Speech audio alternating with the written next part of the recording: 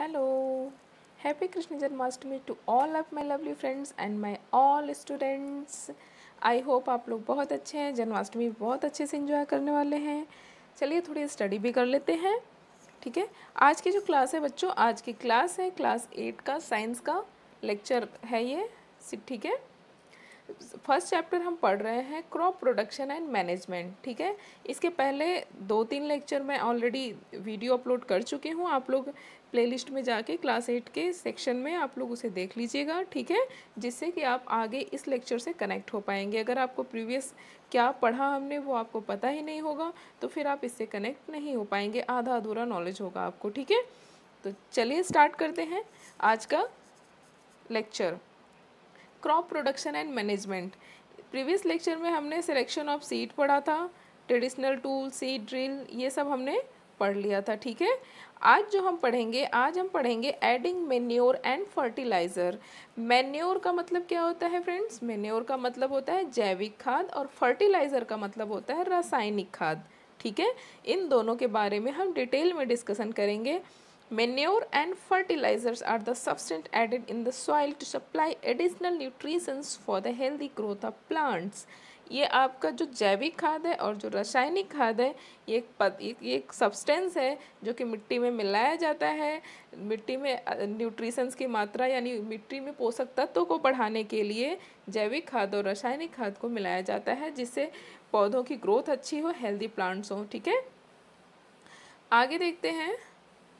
The minerals nutrients are supplied to the crop plant, which are vital for their growth. Minerals जो minerals the mineral nutritions are supplied to the crop जो nutritions जो mineral प्राप्त मिट्टी में प्राप्त होता है, वो क्रॉप्स के लिए बहुत ही ज़्यादा क्रॉप की ग्रोथ के लिए बहुत ही ज़्यादा इंपॉर्टेंट होता है, ठीक है यानी ये जो न्यूट्रिशंस खाद से मिट्टी मिलता है, वो पौधों को मिलता है ना। मिट्टी में न्यूट्रिशंस की मात्रा जितनी ज़्यादा होगी, पौधों की ग्रोथ उतनी अच्छी होगी, ठीक है? Farmers grow one crop after the other किसान एक क्रॉप के बाद दूसरी क्रॉप एक ही खेत में उगाते हैं, ठीक है? Due to this field is never left uncultivated और फॉलो इस प्रोसेस में क्या होता है? जो खेत होता है, वो कभी अनकल्टिवेटेड नहीं होता है। यानी उसमें हमेशा कोई ना कोई फ़सल उगाई जाती रहती है। हमेशा वो कल्टिवेटेड रहता है, ठीक है? The soil become nutrition deficient due to continuous crop cultivation मिट्टी में न्यूट्रिशंस की मात्रा कम हो जाती, कम होने लगती है। अगर हम लगातार कल्टीवेशन करते हैं, लगातार खेती करते हैं, ठीक है? एक ही फ़ील्ड में अगर हम लगातार कल्टीवेशन कर रहे हैं, लगातार खेती हो रही है तो मिट्टी में न्यूट्रिशंस यानी पोषक तत्व की मात्रा कम हो जाती है, ठीक है? इसलिए मिट्टी में इस पोषक तत्व की मात्रा को फिर से रिफिल करने के लिए, यानी फिर से और न्यूट्रिशन ऐड करने के लिए हम खाद खेत में ऐड करते हैं, ठीक है? Farmers and the process is terms and manuring किसान खेत में मेन्योर एंड फर्टिलाइजर्स ऐड करते हैं, जिसे हम, ये जो प्रोसेस होता है, इसे हम कहते हैं मैन्योरिंग ठीक है? Growth of weak plants is the result of improper and insufficient manuring जो प्लांट्स वीक होता है ग्रोथ अच्छी नहीं होती है, उसका रीज़न क्या होता है? उसमें इनसफिशियंट यानी अपर्याप्त मात्रा में इम्प्रॉपर खाद डाली गई है। मतलब उसमें प्रॉपर मेन्योरिंग नहीं हुई है प्रॉपर उसमें खाद वगैरह नहीं डाली गई है फ़ील्ड में। इसलिए वहाँ जो प्लांट्स जो उग रहे हैं, वो बहुत ही वीक हैं, ठीक है? उसमें ग्रोथ अच्छी नहीं है। मेन्योर क्या है? एक ऑर्गेनिक सब्सटेंस है, ठीक है? जो किससे मेन्योर यानी ऑर्गेनिक खाद की बात हो रही है यहाँ पे। मेन्योर यानी ऑर्गेनिक अगर मैं फर्टिलाइज़र बोलूँ, यानी कि रासायनिक खाद, ठीक है? आपका जो मेन्योर है, ये क्या है? एक ऑर्गेनिक सब्सटेंस है, यानी कि एक जैविक पदार्थ है, जो कि डिकम्पोजिशन से प्राप्त होता है। किसी प्लांट और एनिमल जो डिकेइंग मैटर होता है, उससे बनता है मेन्योर यानी जो खराब, जो सड़ जाता है, ख़राब हो जाता है, ठीक है? वो मैटर जो होता है वो जो सब्सटेंस होता है वही क्या होता है? मेन्योर होता है ठीक है? Farmer dump dead plants and animal in pits at open places and allow it to decompose farmer यानी किसान क्या करते हैं? जो डेड प्लांट होता है डेड एनिमल होते हैं उन्हें एक, एक किसी फ़ील्ड में एक गड्ढे में ऐसे ही डाल देते हैं और उसे डिकम्पोज होने देते हैं ठीक है? यानी उसमें उसे सड़ने देते हैं। The action of few micro organism aids in the decomposition और ये जिस पिट्स यानी मतलब क्या होता है? गड्ढा, ठीक है? जैसे फ़ील्ड में गड्ढे में ओपन गड्ढे में डाल दिया इन्होंने। डेड प्लांट डेड एनिमल्स ठीक है? आप लोगों ने देखा होगा, गाय का गोबर वगैरह एक गड्ढे में लोग फेंकते रहते हैं, ठीक है? तो उसमें कई सारी चीज़ें खराब सड़े गले पौधे, कुछ भी हो, सब कुछ हो, डाल देते हैं, जिससे वो वहाँ पे डीकम्पोज हो। और डीकम्पोज होने में जो उसका हेल्प करता है, वो है सूक्ष्म जीव जो माइक्रो ऑर्गेनिज्म होते हैं, वो हेल्प करते हैं डीकम्पोज होने में, ठीक है? यूज़ एज ऑर्गेनिक मेन्योर और जब ये डिकम्पोज कंप्लीट हो जाता है तो इसे हम इसे ही हम ऑर्गेनिक मेन्योर के रूप में यूज़ करते हैं, ठीक है? यानी जैविक खाद के रूप में इसे हम फ़ील्ड में यूज़ करते हैं फ़ील्ड यानी खेत में यूज़ करते हैं, ठीक है?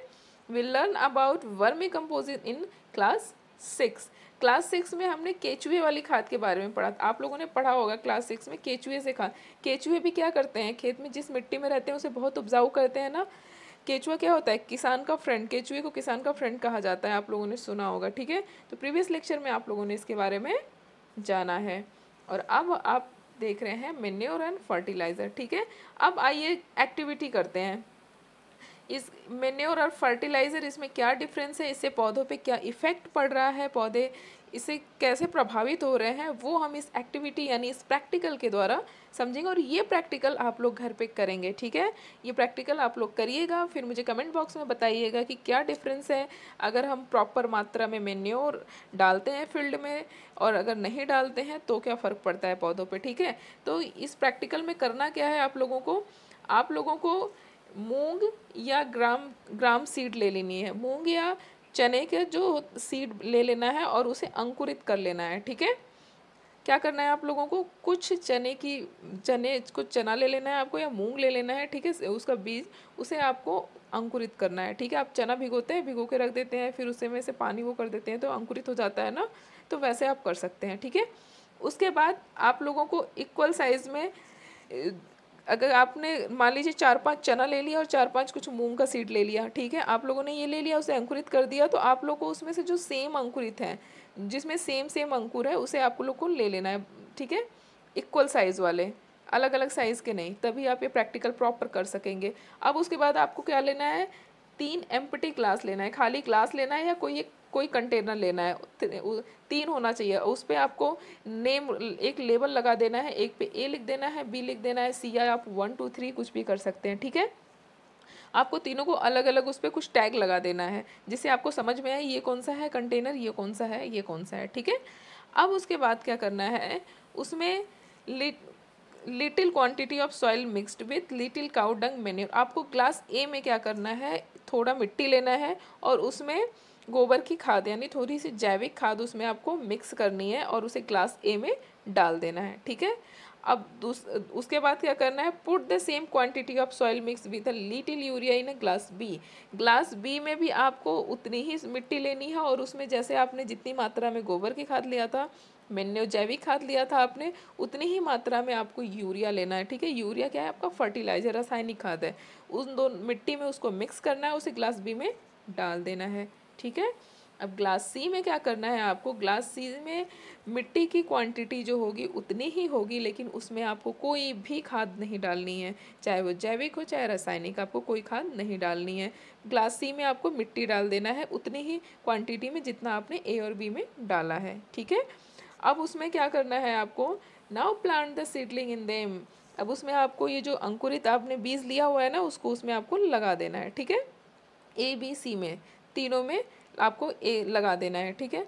अब उसके बाद आपको इक्वल अमाउंट में मतलब सेम मात्रा में आपको पानी डाल देना है तीनों क्लास में। आप कभी भी कोई पौधा लगाते हैं, उसमें आप पानी डालते हैं ना, उसी तरीके से आपको इसमें क्या करना है? पानी देखिए यहाँ पे ए बी सी पिक्चर देखिए आप लोग, ठीक है?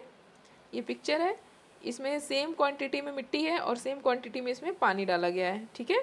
तो आप लोगों को भी यही करना है और उसके बाद उसे एक सेफ़ प्लेस पे रख देना है तीनों ग्लास को, ठीक है? और आपको उसमें पानी रेगुलर देते रहना है। ऐसा नहीं कि आज आपने एक पानी डाल दिया, फिर उसके बाद आप उसमें कुछ नहीं कर रहे उसमें आप पानी थोड़ा थोड़ा डालते रहेंगे डेली ठीक है? अब उसके बाद आपको देखना है सेवन या टेन डेज़ के बाद कि इसमें ग्रोथ कैसे, कैसा हो रहा है। यानी तीनों जो ग्लास है, उसमें जो पौधे हैं, वो सेम साइज़ में ग्रो कर रहे हैं या कुछ डिफरेंस है उसमें, ठीक है? ये आप लोग को ऑब्ज़र्व करना है और उसके बाद मुझे कमेंट बॉक्स में बताना है कि आप लोगों ने क्या फ़र्क देखा, तीनों ग्लास के पौधों में क्या फ़र्क था, ठीक है? तो आपका प्रैक्टिकल कंप्लीट हुआ। चलिए अब आगे देखते हैं। Does plants in all glasses exhibit equal growth यहाँ पे क्वेश्चन है, क्या आपका सभी जो क्लासेस हैं, उसमें प्लांट क्या इक्वल इक्वल साइज़ में ग्रो कर रहे हैं? ये क्वेश्चन है। इसका आंसर आप लोग को देना है, ठीक है? In which glass the plant shows better growth किस और आपको ये भी बताना है कि किस ग्लास में प्लांट बहुत अच्छा ग्रो कर रहा है, ठीक है? Which glass shows the fastest grow और ये भी आपको बताना है क्वेश्चन थर्ड भी आपको आंसर करना है कि किस ग्लास का जो प्लांट है वो जल्दी ग्रो कर गया, ठीक है? क्या क्या बताना है आपको? पहले आपको ये ऑब्ज़र्व करना है कि तीनों ग्लास में प्लांट क्या सेम ग्रो कर रहा है, उसकी जो साइज़ है सेम है, और दूसरा आंसर आपको करना है कि किसमें ज़्यादा अच्छा ग्रोथ हो है। किस क्लास में? और थर्ड आंसर आप लोग को करना है कि किसमें जल्दी पौधा ग्रो कर रहा है, ठीक है? ये प्रैक्टिकल आपको करना है और फिर मुझे कमेंट बॉक्स में बताना है। The chemical which are rich in specific nutritions are called fertiliser जिसमें ज़्यादा मात्रा में केमिकल होता है, ठीक है? उसे हम कहते हैं फर्टिलाइज़र रासायनिक खाद, ठीक है?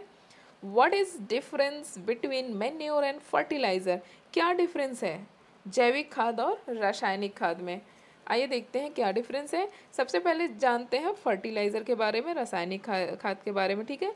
ये कहाँ प्रोड्यूस होता है? फैक्ट्रीज़ में। जो आपकी फर्टिलाइज़र होती है, यानी जो रासायनिक खाद है, ये आपको फैक्ट्री में बनाई जाती है, ठीक है? इस एग्ज़ाम्पल है, urea, ammonium, sulphate super sulphate potash NPK यानी नाइट्रोजन फॉस्फोरस पोटेशियम ठीक है? ये कुछ एग्ज़ाम्पल हैं फर्टिलाइज़र के यानी रासायनिक खाद के ये कुछ एग्ज़ाम्पल हैं ठीक है? आगे देखते हैं।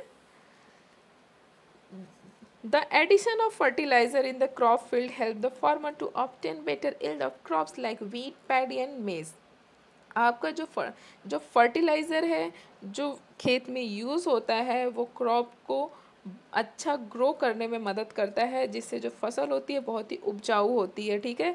फार्मर के हेल्प होता है, फर्टिलाइज़र से क्रॉप अच्छे मात्रा में, उसका जो उपज होती है क्रॉप की बहुत ही अच्छी मात्रा में होती है, ठीक है? गेहूँ हो गया आपका, धान हो गया वीट पैडी धान हो गया मेज़ यानी मक्का हो गया, ठीक है? ये एग्ज़ाम्पल है। बट लेकिन जो सॉइल फर्टिलिटी है, वो वीक होती है। Decreased in fertilisers are use in excessive quantity अगर हम फर्टिलाइज़र का यूज़ बहुत ज़्यादा मात्रा में कर देंगे तो जो मिट्टी की फर्टिलिटी यानी मिट्टी की जो उपजाऊ क्षमता है, वो कम हो जाती है, ठीक है? इसलिए रासायनिक खाद का उपयोग बहुत ज़्यादा मात्रा में नहीं करना चाहिए, एक लिमिटेड करना चाहिए, ठीक है?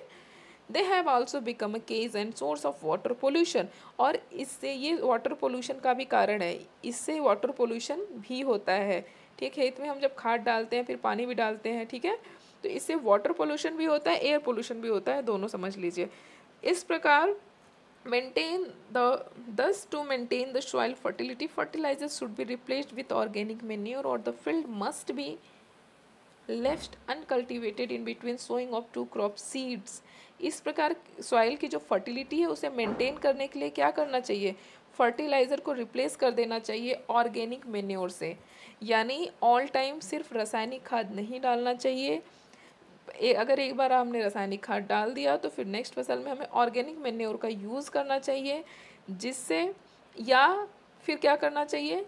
अनकल्टिवेटेड यानी उस पे उस फ़ील्ड में खेती ही नहीं करना चाहिए उसे कुछ दिन ऐसे ही छोड़ देना चाहिए ठीक है?